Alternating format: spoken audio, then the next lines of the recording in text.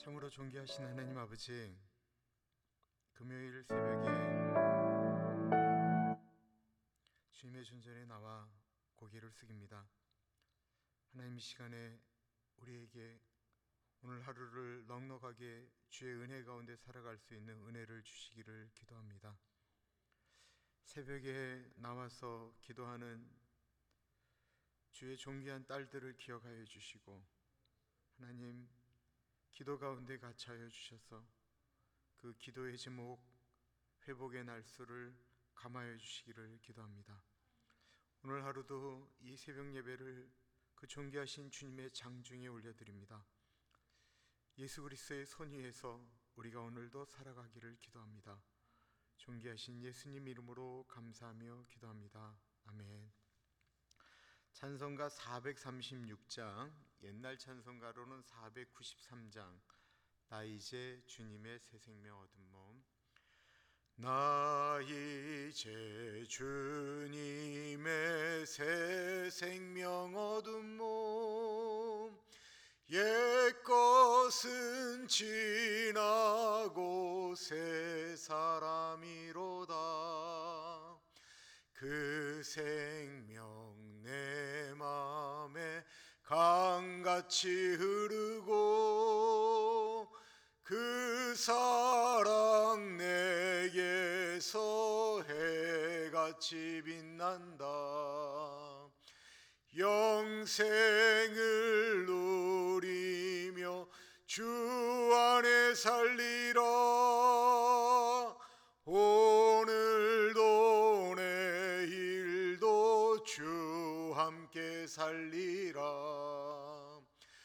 주 안에 감추인 새 생명 얻으니 이전에 좋던 것 이제는 값없다. 하늘의 은혜와 평화를 맛보니 찬송과 기도로 주 함께 살리라. 영생을 누리며 주 안에 살리라. 오늘도 내일도 주 함께 살리라. 산천도 조막도 새 것이 되었고 죄인도 원수도 친구로 변한다. 새 생명 얻은 자 영생을 누리니 주님을 모신 맘새 하늘 영생을 누리며 주 안에 살리라. 오늘도 내일도 주 함께 살리라. 주따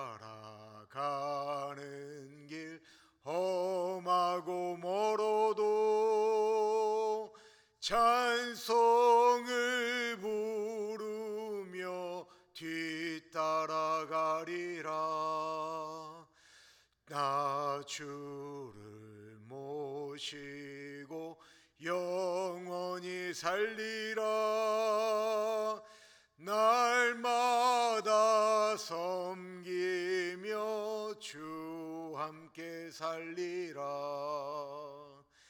영생을 누리며 주 안에 살리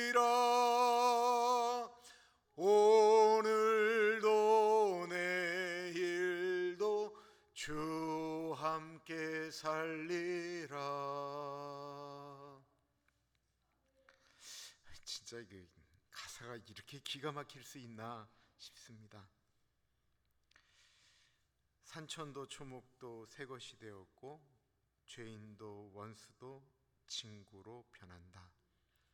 새 생명 얻은 자 영생을 누리니 주님을 모신 마음이 새 하늘이로다. 주 따라가는 길 험하고 멀어도 찬송을 부르며 뒤따라가리라. 나 주를 모시고 영원히 살리라. 날마다 섬기며 주와 함께 살리라. 오늘 그런 복된 하루가 되게 해달라고 그냥 이렇게 말씀 준비하고 찬양 이렇게 따라 부르고 하는데 어, 원래 이런 삶이었는데 언제부터 이렇게 잊고 지냈지? 라는 생각이 들었는데요. 오늘 하루 그런 하루가 되게 해달라고 우리 같이 기도하고 말씀 듣도록 하겠습니다. 기도합니다. 존귀하신 하나님, 하나님 같이 하시고 동행하여 주시기를 기도합니다. 예수님 모신 마음이 새 하늘 새 땅이라고 하셨는데 언제부터인가 잊고 지내고 살아가고 있습니다. 하나님, 예수님 모시면 원수도 친구로 변한다라고 하셨는데 죄인도 친구로 하셨는데 하나님 오늘 하루가 그런 복된 하루가 되어지기를 간절히 기도합니다. 나에게 주어진 삶 가운데 주님과 동행함으로써 주님과 더불어 영생을 맛보며 영생을 누리며 살아가는 하루가 되어질 수 있도록 하나님 같이하여 주시기를 간절히 기도합니다. 하나님 아버지, 아버지, 아버지, 아버지, 하나님 아버지 그런 하루가 되어질 수 있도록 하나님 도와 주시옵소서. 성령 하나님 같이 하여 주시기를 기도합니다. 주님 동행하여 주십시오. 존귀하신 주님, 예수님 만나서 새 하늘과 새 땅을 경험하고 모든 것이 달라지게 보였던 그날 하나님 영생을 맛보며 그 전에 내가 누리고 붙잡으려고 했던 것이 더 이상 무가치하게 느껴졌던 그날 하나님 그것이 과거의 기억이 아닌 오늘의 우리의 간증이 되어지기를 기도합니다. 오늘 하루도 주님께서 우리와 동행하심으로써 사람들이 보는 시선이 아닌 하나님이 바라보는 시선으로 세상을 바라보며 나에게 주어진 일을 감당하는 우리들이 되어질 수 있도록 하나님 같이 하여 주십시오. 존귀하신 예수님 이름으로 기도합니다. 아멘. 골로새서 3장 18절에서부터 25절까지 말씀입니다. 골로새서 3장 18절에서부터 25절. 골로새서 3장 18절에서부터 25절 하나님의 말씀 교독하겠습니다. 아내들아 남편들에게 복종하라 이는 주 안에서 마땅하니라 남편들아 아내를 사랑하며 괴롭게 하지 말라. 자녀들아 모든 일에 부모에게 순종하라. 이는 주 안에서 기쁘게 하는 것이니라. 아비들아 너희 자녀를 노엽게 하지 말지니 낙심할까 함이라. 종들아 모든 일에 육신의 상전들에게 순종하되 사람을 기쁘게 하는 자와 같이 눈가림만 하지 말고 오직 주를 두려워하여 성실한 마음으로 하라. 무슨 일을 하든지 마음을 다하여 죽게 하듯 하고 사람에게 하듯 하지 말라. 이는 기업의 상을 죽게 받을 줄 아나니 너희는 주 그리스도를 섬기느니라. 불의를 행하는 자는 불의의 보응을 받으리니 주는 사람을 외모로 취하심이 없느니라. 저는 오늘 그리스도인이 어떻게 하면 이 세상 속에서 선한 영향력을 행사할 수 있을까라고 하는 것을 같이 고민하고자 합니다. 22절을 봅니다. 종들아 모든 일에 육신의 상전들에게 순종하되 사람을 기쁘게 하는 자와 같이 눈가림만 하지 말고 오직 주를 두려워하여 성실한 마음으로 하라. 당시 로마 시대의 그 노예라고 하잖아요. 노예가 대략 정도로 어떤 문호는 20% 어떤 문호는 3분의 1 그러니까 최소한 전체 인구 중에 다섯 명 중에 한 명 혹은 세 명 중에 한 명이 노예였습니다. 이들은 로마가 어, 다른 나라를 정복할 때 이기면 붙잡아 왔던 사람들인데 그러므로 우리가 생각하는 조선 시대의 노예와는 본질적으로 좀 다른 사람들이었어요. 그들 중에는 왕도 있었고 왕자와 어, 공주 같은 사람도 있었고요. 귀부인도 있었고 그리고 특히 로마에 유능하다라고 하는 실력 있는 의사들은 대부분 다 노예였습니다. 로마 사람들이 로마의 의사들은 믿지 못하고요. 다른 나라에서 붙잡아온 의사들을 더 신뢰했기 때문에 로마 시대의 유능한 의사들은 대부분 노예였다라고 이야기합니다.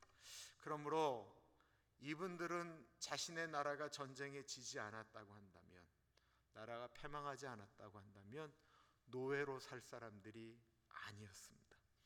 그랬기 때문에 갑자기 내가 원한 것이 아닌데 내 인생이 내 뜻대로 안 돼서 노예가 됐다고 생각하면 세상을 원망하게 되잖아요. 세상에 희망이 없잖아요. 노예는 노예 자식도 노예인데 무슨 희망을 갖고 살겠어요? 희망이 없던 이분들이 그랬기 때문에 복음이 선포되어지자 복음을 받아들이게 됐습니다. 사람들은 고난이 오면 하나님을 찾는다라고 이야기하죠. 왜냐하면 고난이라고 하는 것이 내 힘으로 극복하기가 어렵기 때문에 그렇습니다. 그렇다고 고난이 좋은 것은 아닙니다. 고난을 뭐 일부러 해야 된다라고 이야기하는 것도 아니에요. 고난이 좋은 것은 아니지만 고난이 신앙적으로 유익이다라고 그러기 때문에 표현하는 것입니다. 고난을 일부러 자처해서 하나님을 찾는 건 아니지만 고난이 왔기 때문에 자신의 한계를 경험하고 하나님을 찾는다라고 하는 것이죠. 반대로 고난이 왔는데도 그러면 하나님을 찾지 않는다. 세상에 이런 사람처럼 용감한 사람들이 어디 있겠습니까? 근데 이 노예들이 교회를 찾아왔는데 교회에서의 삶이 더 힘든 거예요. 교회에서는 한 형제 한 자매가 돼서 같이 떡도 나누고 음식도 나눴는데 다시 교회 밖을 나가면 다시 노예라는 거예요. 사도 바울은 노예 해방을 외친 게 아니에요. 그 당시 뭐 노예 해방을 외친다고 될 일도 아니었기 때문에 도리어 노예들이 어떻게 살아가야 되는지를 얘기하였는데 사도 바울이 이렇게 얘기하는 것입니다. 여러분이 섬기는 그 주인에게 최선을 다하십시오. 육신의 상전들에게 순종하되 사람을 기쁘게 하는 자와 같이 눈가리만 하지 말고 라고 되어져 있습니다. 사람들은 앞에서는 최선을 다했지만 뒤로 돌아가서는 주인을 욕하는 일들이 서슴없이 일어났죠. 이렇게 얘기하는 거예요. 저게 힘만 있지 나보다 똑똑하기를 해 나보다 괜찮기를 해 힘만 있어서 우리나라 쳐서 내가 저의 노예가 됐지. 내가 저놈보다 못한 게 뭐가 있다고 내가 저놈의 말을 들어야 돼. 힘으로 눌리기 때문에 앞에서는 최선을 다하지만 뒤돌아서는 욕을 했다라는 거예요. 이거는 뭐 노예뿐만 아니라 오늘날 우리의 삶 가운데도 너무나도 흔하게 일어나는 일들이잖아요. 사도 바울이 그러지 말라라는 것입니다. 눈속임으로만 그렇게 하지 말고 우리가 하는 일에 최선을 다하라고 표현하고 있는 것입니다. 오늘 읽은 본문 말씀에는 남편이 아내에게 해야 될 일, 아내가 남편에게 해야 될 일, 자녀가 부모에게 해야 될 일, 부모가 자녀에게 해야 될 일이 나오고 있습니다. 그 이야기의 핵심은 다른 것이 아닙니다. 나 내가 오늘 만나는 사람들에 대해서 최선을 다하라는 것입니다. 남편들아, 아내를 사랑하고 괴롭게 하지 말아라. 아내들아, 남편에게 복종하라. 이것이 주 안에서 마땅하다. 아내가 남편의 말에 복종하는 것이 남편이 아내를 사랑하는 것이 옳다라는 것입니다. 이게 왜 그렇게 말씀하셨냐면 이게 우리가 행복하게 살아가는 길이다라는 거예요. 내가 저 사람이 아닌 다른 사람을 만났더라면 더욱 행복했을 텐데 이런 말은 불행하게 만드는 일이라는 것입니다. 그런 생각할 시간이 있으면 더욱 잘하는데 신경 쓰라라는 것입니다. 내가 지금 만나는 사람, 내가 만나는 직장, 나와 같이 사는 사람에 대해서 불만을 갖고 있는데 어떻게 행복할 수가 있겠어요? 어떻게 거기서 예수 그리스도의 향기와 편지가 되어질 수 있겠습니까? 그런데 만약에 하나님께서 이 사람을 나에게 붙이셨지. 이것이 하나님께서 나한테 하나님의 사람으로 살라고 주신 곳이지 라고 생각하게 되면 그 사람은 내가 돌봐야 될 사람이 되어진다라는 것입니다. 지금 미국에 현존하는 대통령 중에 가장 존경받는 분이 있다고 한다면 기독교인을 떠나서 저는 지미 카터 대통령이라고 생각을 합니다. 얼마 전에 부인께서 돌아가셨는데요. 그 정말 수많은 분들이 이렇게 안타까워하고 그 추모하는 것을 보게 됩니다. 지미 카터 대통령의 좌우명은 내가 최선을 다했는가라고 하는 것이죠. 그가 해군 장교로 근무하면서 미국의 가장 유명한 핵 잠수함 작전에 지원하게 되었을 때 리커버라고 하는 제독과 면담을 하게 되었습니다. 아주 그냥 날카로운 질문을 계속 하다가 이 리커버 제독이 지미 카터 대통령에게 당신은 해군사관학교를 다닐 때 성적이 어땠습니까? 라고 하자 지미 카터가 자랑스럽게 저는 820명 중에 59등을 했습니다. 라고 이야기를 했죠. 그러자 해군 제독이 묻습니다. 그게 당신이 최선을 다한 것입니까? 라고 묻자 지미 카터가 곰곰이 생각하다가 아니요 최선을 다하지는 않았었습니다. 그러자 한동안 말없이 이 카터를 바라보던 리커버 제독이 이렇게 질문을 던지죠. 왜 당신은 최선을 다하지 않았습니까? 너무나도 뛰어난 성적임에도 불구하고 제독이 그렇게 질문을 던졌는데 그날 지미 카터가 잠을 이룰 수가 없었다고 하죠. 그리고는 밤에 이렇게 하나님 앞에 이렇게 기도를 하는데 내가 하나님 앞에 갔을 때 하나님 분명히 나한테 질문을 하실 것인데 너는 너의 인생에 내가 너에게 주어진 삶에 대해서 너는 최선을 다했냐? 하나님 분명히 나한테 그렇게 질문하실 텐데 그때부터 지미 카터가 모든 일을 죽게 하듯 하자라고 하면서 나는 내가 지금 주어진 삶에 최선을 다했는가? 이게 자기의 좌우명이 되어서 나는 하나님 앞에 갔을 때 하나님 나는 하나님께서 나에게 주어진 삶에 최선을 다했습니다. 라고 하는 것을 목표로 삼아야 되겠다라고 아주 유명한 이야기입니다. 나는 나에게 주어진 사람, 우리 가족들, 내 아내, 내 자녀들에게, 나는 내 남편들에게, 내 부모님에게 최선을 다하는가? 우리는 어떤 사람에게는 신경 써서 최선을 다하고 어떤 사람에게는 대충 하고 있지는 않는가? 사람을 좀 무시하고 이 사람에겐 좀 더 신경 쓰고 저 사람은 안 그래도 된다라고 우리는 차별하고 있지는 않는가? 23절, 24절에 보면 무슨 일을 하든지 어떤 일, 귀중한 일, 덜 귀중한 일, 그런 일이라고 말씀하지 않으시고, 무슨 일을 하든지 마음을 다하여 죽게 하듯 하고, 사람에게 하듯 하지 말라. 이는 기업의 상을 죽게 받을 줄 아느니, 너희는 주 그리스도를 섬기느니라. 누구에게 물 한 잔 주는 것, 누구에게 격려 한 번 하는 것, 우리가 아무 일도 아닌 것 같은데 우리가 생각하는 그 일에 대해서 주님께서 의미를 부여하신다라고 하는 것은 마태복음에 분명히 나와 있죠. 우리 중에는 의미 있는 일이라고 하면 가장 의미 있는 일은 영혼을 구원하는 일이다라고 생각을 해서 그럼 영혼을 구원하는 일에 가장 복된 사람들은 목사 아니겠는가? 선교사 아니겠는가? 그래서 의미 있는 일을 하는 사람은 목사와 선교사라고 이야기할 수 있을 것 같습니다. 그럼 의미 있는 일을 하면 행복할까요? 미국에 있는 목회를 하는 목사님들에게 물었습니다. 목회를 하실 때 행복하십니까? 전체 목사 100명 중에 목회를 하는데 행복하다라고 말한 사람은 10명밖에 되지 않습니다.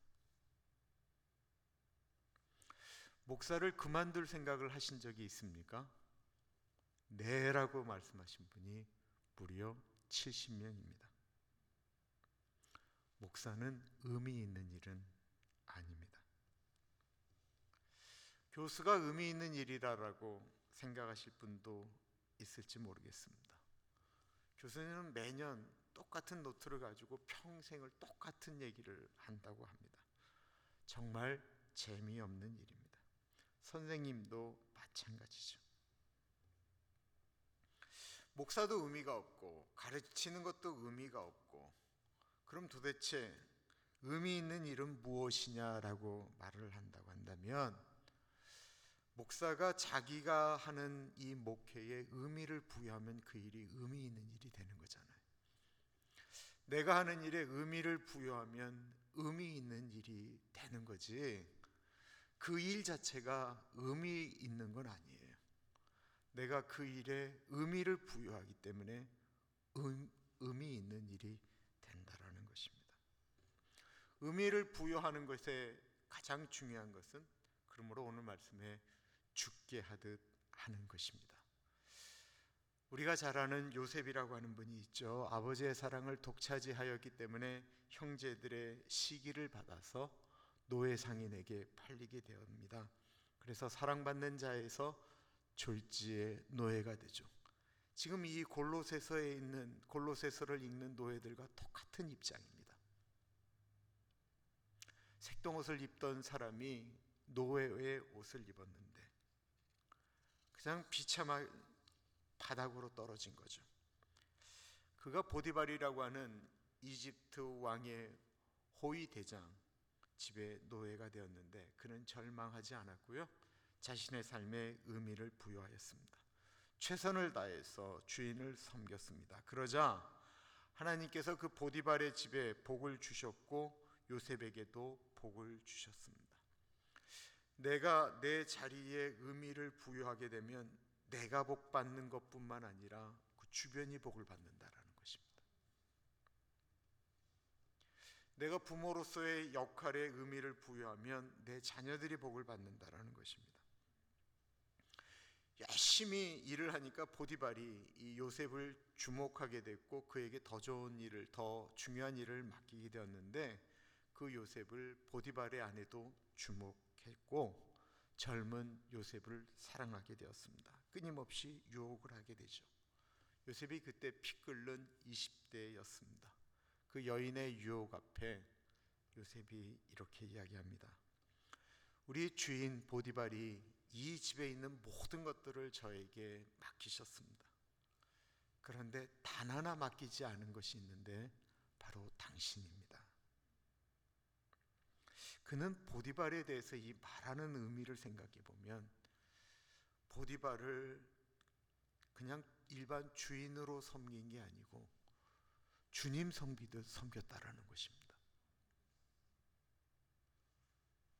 그는 자신이 해야 될 일과 하지 말아야 될 일에 대한 정확한 구분이 있었습니다. 보디발의 아내의 모함을 받아서 감옥에 가게 되었죠. 그때 요셉이 하나님, 하나님 잘 믿어도 아무 소용 없습니다.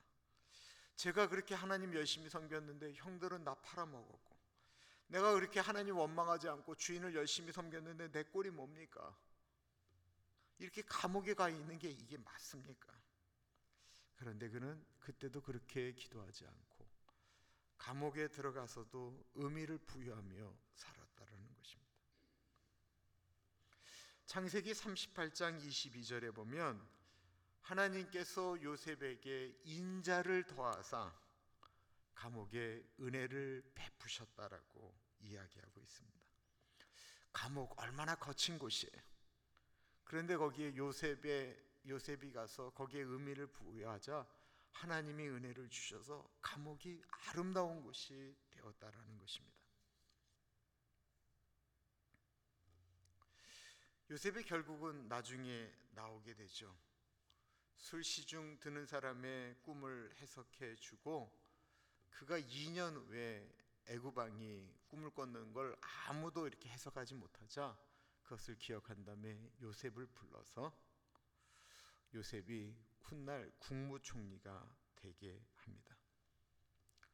의미를 부여했던 감옥 생활은 사람들이 얘기할 때 요셉을 더욱 단단하게 만들었다라고 이야기합니다.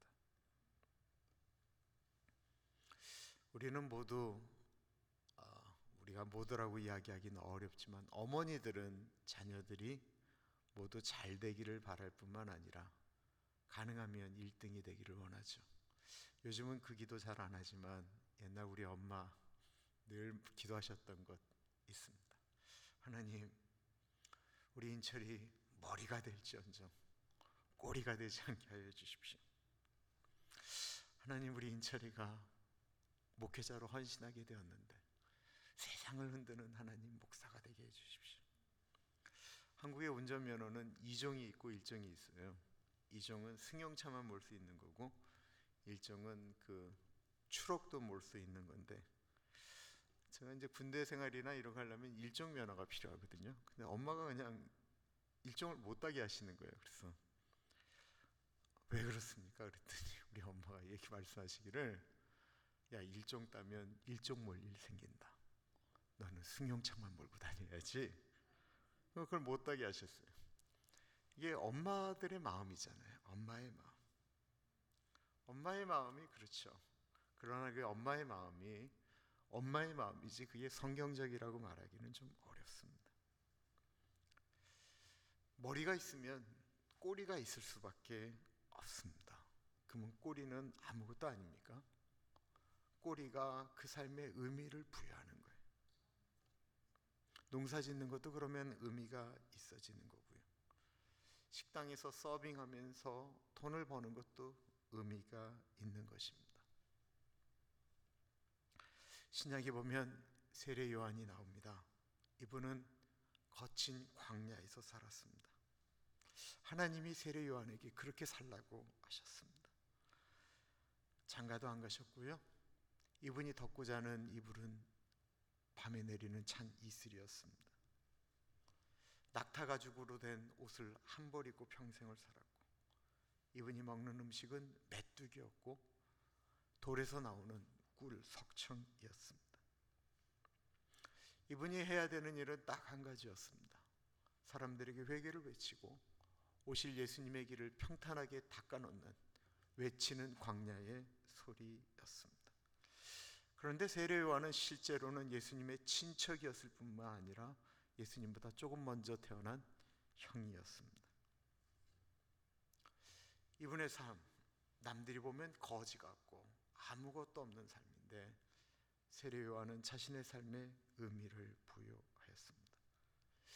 예수님이 나타나셨을 때 예수님이라고 하는 존재는 거의 이름 없는 분이었고 세례 요한은 그 당시 헤롯 왕이 무서워할 정도로 온 국민들에게 지지와 사랑을 받는 광야에 외치는 선지자였습니다. 사람들은 세례 요한을 존경했고요. 세례 요한에게 세례를 받기 위해서 수도 없는 길이 요단 강가에 늘어져 있었습니다. 그런데 그는 예수님이 나타나자 그는 지는 해처럼 자신의 삶을 사라지게 만들었습니다. 자신의 삶의 의미를 정확히 이해한 것입니다. 내가 해야 될 일에 대한 의미를 부여하기 때문에 예수님의 인기가 올라가고 자신이 사라져도 그는 거기에 대해서 아쉬워하지 않았습니다. 우리의 삶에 의미를 부여하는 사람. 아까 우리가 불렀던 찬송처럼 나 이제 주님의 새 생명 얻은 몸. 옛것은 지나고 새 사람이로다. 산천도 초목도 새 것이 되었고 죄인도 원수도 친구로 변한다. 예수님을 모시고 살아가는 사람들이 그렇게 살아가려고 말씀하고 있는 것입니다. 오늘 우리에게 주어진 우리의 시간 동안에 의미를 부여하고 우리에게 맡겨진 사람들에게 주님 제가 오늘 주님께 하듯 하겠습니다. 우리 그렇게 기도하고 제가 기도하겠습니다. 우리 같이 기도할까요?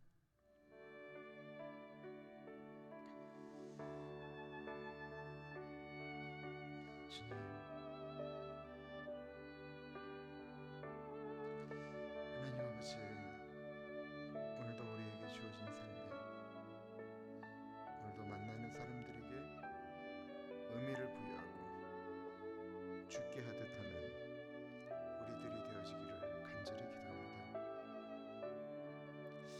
하나님 아버지, 아버지 그렇게 살아갈 수 있도록 하나님 동행하여 주십시오.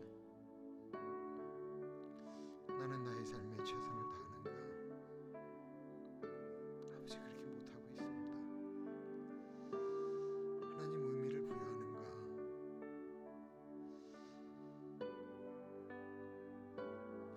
하나님 시간을